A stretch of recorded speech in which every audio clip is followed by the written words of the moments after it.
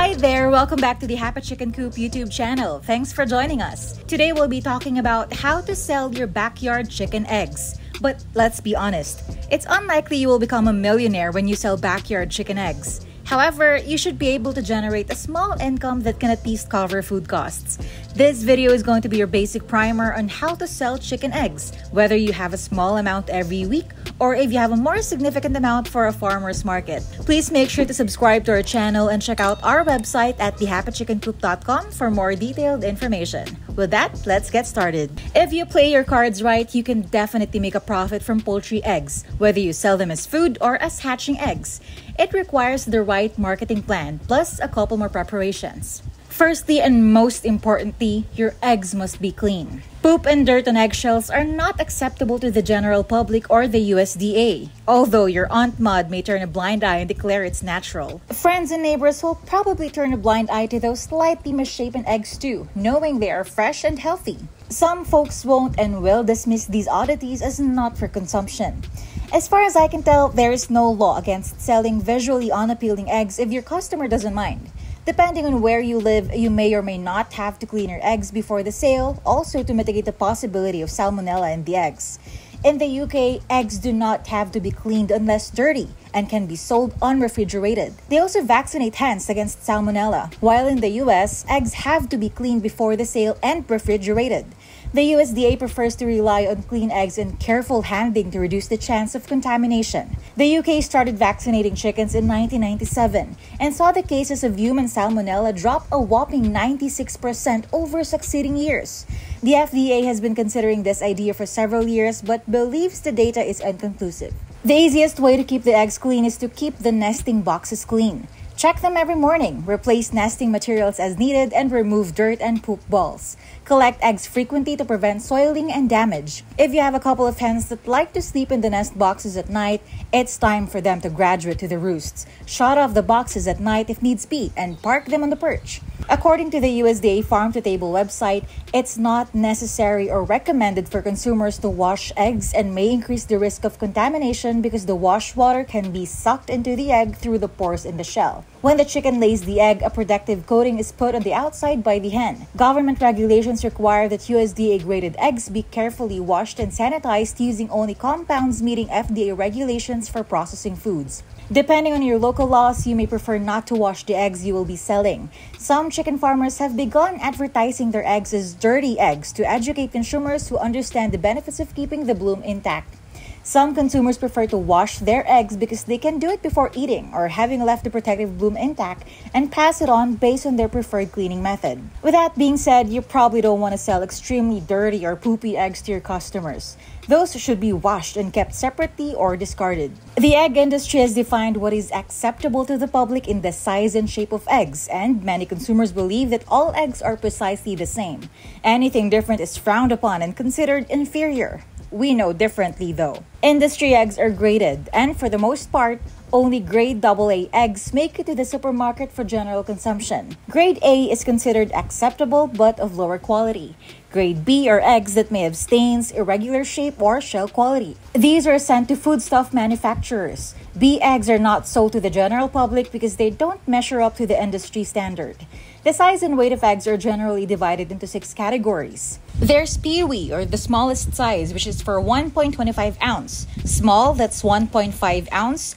Medium, that's 1.75 ounce. Large, 2 ounce. Extra large, 2.25 ounces. And jumbo, that's 2.5 ounce. You do not have to grade or size your eggs unless you intend to sell them commercially. Farm gate sales are exempt from grading. Also, you do not have to fill the carton with eggs of the same size. For instance, you can vary the size with two large, two medium, and two small. That's fine. Speaking of egg cartons, you cannot use brand name egg cartons since you're not selling the brand egg. However, you can purchase new egg cartons inexpensively from your local farm or garden store. I will reuse clean cartons, not broken or damaged and not soiled, erring on the side of caution. If you plan on making this a regular occurrence, you might consider putting a label on the carton with your name, address, and phone number.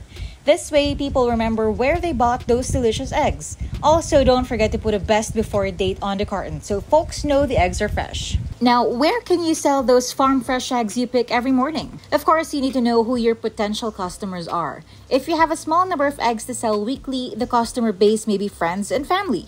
If you have a neighbor who's a bit iffy about having hens next door, bribery usually works. So donate them some eggs once every couple of weeks. They may decide that the eggs and hens aren't so rotten and start buying from you. But if you have more eggs to sell, you will need to start looking further afield. Check around your area to see where you may be able to sell.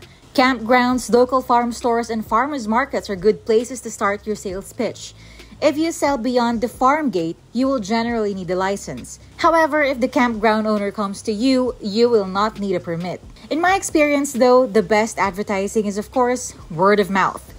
If your eggs are tasty, reasonably priced, and local, you'll probably have more customers than eggs, especially in the winter months. Another idea to consider is setting up a roadside stand to sell your eggs. Before you start, think about other roadside stands you have seen. Would you have bought from them? Why did you buy from them? And more importantly, why didn't you buy from them? A tatty makeshift stand that's held together with a couple of nails and duct tape will not attract customers. People will notice you can't be bothered with a good appearance, so what else can't you be concerned with? You can either build your stand or use a small garden shed for the task. Unless you have many other things for sale, a small homemade frame will probably be sufficient. Make it simple and fit your needs. A freshly painted frame, a good presentation of your products, and even some whimsical decorations all help to attract folks. You need to put some time and effort into production, even if it's just a sign saying eggs for sale. If you're in a position to have folks come to the door and ask for eggs, you need to ensure you're available at all reasonable hours. If you want customers to come to your door, make sure you say something like knock on the back door. It gives the idea that they are welcome and gives direction. No one wants to be poking around looking for someone to buy the eggs from. A poster showing your hands and the pasture will let people know your hands are free rangers. A couple of close ups of your girls will likely bring a smile to their faces, and they will remember you for the future. Ensure your products and prices are displayed so there is no room for confusion. Always check your spelling too. If you rely on people's honesty and use an honesty box, do it cautiously. Ensure your money box cannot be broken into and bolt into the stand. Sadly, some people can and will take your product and your cash, so be wary of those. If you raise bantams, quail, or ducks, there are specialty markets for you. Bakers love duck eggs. If you have never baked with duck eggs, I highly recommend it. You will have to do your homework to find these places, but it can be well worth it in the long run. If you can get a small local restaurant or bakery to buy all your eggs, that is a bonus and a good start for your small business. Now, if there are farmers markets nearby that you want to sell your eggs from, there are a couple of legalities you have to learn first. In a nutshell, small private sales from your home are typically exempt from licensing, but selling eggs to the public needs more paperwork. You need to be licensed if you wish to sell at farm markets, CSAs, or local stores. It would help if your facilities were inspected by the USDA yearly. Each state in the US is different, and the UK and Canada also have licensing systems in place, which you will need to comply with if you sell there. It can be frustrating to plow through the rules and regulations, but it is well worth the effort to avoid problems. If you plan to become a business, you will also need business licenses. These are usually available from the municipal building. The cost varies from state to state but is generally quite reasonable. For example, you will only need a business license in New York State if you have over a thousand dozen eggs to sell per year. You can check out your local state requirements on the National Egg Regulatory Official's website linked below. In general, the rules are not too onerous for the backyard seller. It only gets complicated once you decide you want to make it a business. Many consumers these days are aware of the terrible conditions in which hens are kept in the commercial world and will buy local free range eggs whenever possible. Assuming you've already decided how and where to sell your eggs, the next question is how much should you sell them for? Pricing your eggs to sell can be tricky. Suppose you consider all your expenses like the feed, housing, water, electricity, etc. In that case, the eggs may be too expensive for many folks, especially when they can buy a dozen much cheaper at the supermarket. I generally sell mine to cover the cost of their feed. Pricing will also have to consider the local availability of your product. Folks may pay more for freshly laid eggs if you live in town. In some rural areas where almost everyone has chickens, you may have to sell them cheaper. Markets fluctuate, so keep your eyes open. If your customers live a short distance away from you, they may appreciate free delivery of their eggs, personalizing the service. Selling backyard chicken eggs can be a great way to cover the cost of your feed. And you can do that from farmers markets to roadside stands.